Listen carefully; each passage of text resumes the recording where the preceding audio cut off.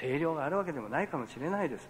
でも年を取ったら取ったなりに今度は表現がちゃんとしなきゃ、ね、この歌は本当に悲しい歌だけどとにかくこの人の気持ちは1番でも2番でもあなたを信じていたいっていう言葉が2つ出てくるんですよね、こいつが僕からしたらもうこの歌の一番大事な部分になって。るねこのこの話だったらもうもう振られちゃってるんですからこの人は、ね、きっと親とか兄弟だともうあんなの忘れてもう新しい恋でもしなさいなんて言ってるかもしれないけどどれほどこの人が愛していたかって命かけて愛していた。だからこそ、ね、信じていたいよってこう気持ちで一生懸命歌ってる歌なんですよねこの歌。ところがそのあなたを信じていたいがただスラスラスラってやられちゃったら面白くもなんともない歌になっちゃう。ね。さあもう一回だけ歌いましょう。うまくなんて思わなくていいです。恋は儚くです。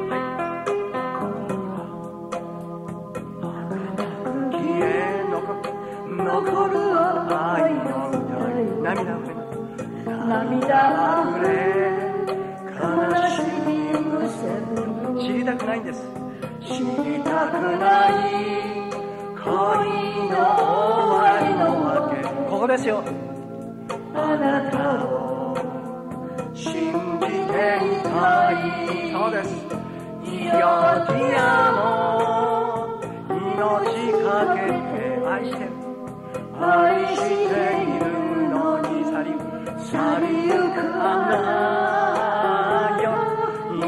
いやティアも死にたい死にたいほど切なくて何も言えず一人泣くだけそれでいいですから心乱れた今心が乱れてましょう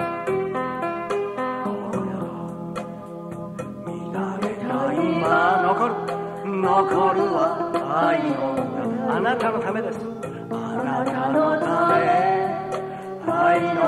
調べ奏でる聞きたくない。聞きたくない。さよなら。さよなら。の言葉をあなたを信じたあなたをここです信じていたいオッケーよちやも命かけて愛しているのに去りゆく去りゆくあな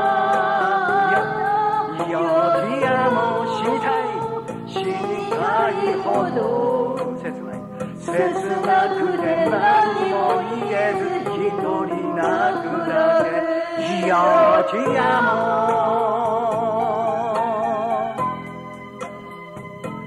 よいやもは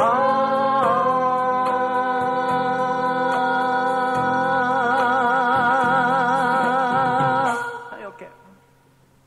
という感じで。歌いましょうね、この歌は。本当にその声が良かった、何がどうのよりも、やっぱり気持ちのこもった歌っていうのは、伝わる人にはぐーっと伝わってきます。で今そういう歌い方ができてきてるから。ね、言葉を大事に、ね、ただ間違い前の大事じゃなくて、伝えるために言葉を大事に歌ってあげる。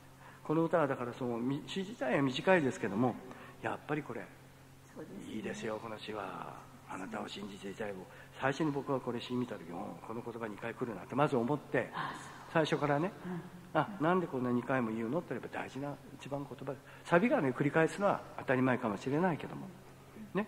そのその前の段階で同じ言葉を2回使ってくるってことはあこの言葉はすごく大事にしてんだな。なんで信じていたいんだと思った時にこんなに悲しい内容なのにやっぱりこの人が信じていたいと思いながらなもうしかしら泣き暮らしてますよこの人。ずっと。ね。まあ時が解決するよって簡単に言うかもしれないけど。そういうわけじゃない。今の気持ちはねもうとてもじゃないけど。だけどその一つの気持ちだけあなたを信じていたいっていう気持ちだけをすごく伝えてほしいなっていう感じの歌でしょうねこれはね。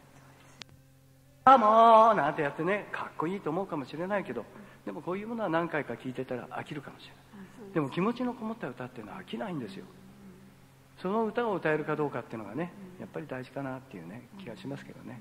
でもこの歌い方は僕からしたら好きです。今の歌い方、うん、気持ちがこもってきてるな。来てるな。です、うん、まだこもってるとは言わないけど来てるなっていう感じですね